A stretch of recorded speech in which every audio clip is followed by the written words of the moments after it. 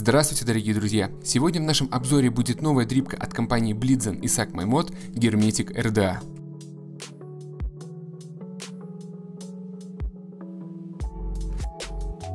Устройство поставляется в довольно увесистом металлическом тубусе. Сверху расположился логотип атомайзера, сбоку нанесено изображение компании, ссылки на социальные сети и описание. Открываем крышку и сразу же видим атомайзер. Под ним находится Ziploc пакет с фирменной шлицевой отверткой в форме ключа,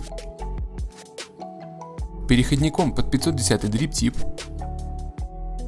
бьюти-рингом, который увеличивает диаметр дрипки с 22 до 24 мм и защищает посадочную площадку мода от царапин, запасной пластиной для зажима спиралей, комплектом черных орингов и сквонг-пин с запасным винтом. Также внутри упаковки разместилась инструкция.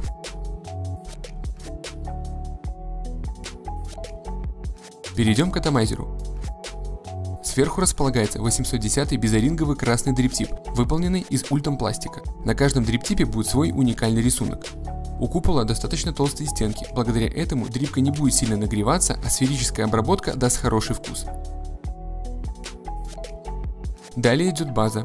Прижимная пластина выполнена из керамики и зажимается одним мощным винтом. Ниже находится отверстие обдува. Купол держится на базе благодаря трем о-рингам. В нижней части указано название атомайзера, серийный номер и есть напоминание о том, что дизайн этой дрипки создавался совместно с Блитсоном и MyMod.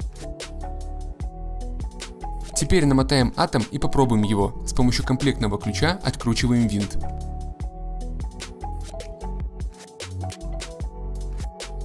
Ставить мы будем Fused клэптоны от компании GeekVape на 5 витков диаметром 3 мм.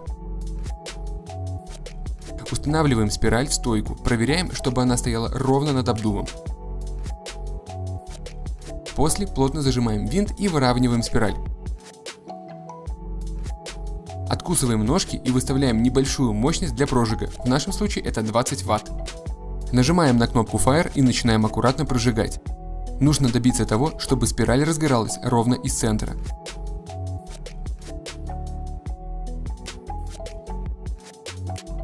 Теперь установим хлопок и заправим новым вкусом жидкости Ти.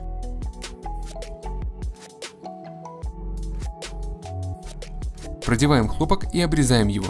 С каждой стороны должно остаться примерно по 8-10 мм.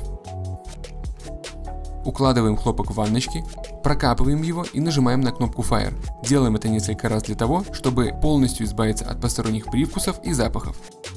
Выставляем необходимую мощность и парим.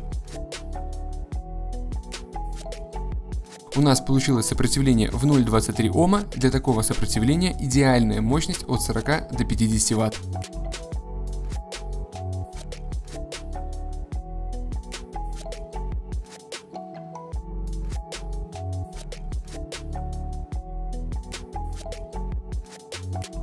С вами был Сигарет Нет Бай. До встречи на нашем канале.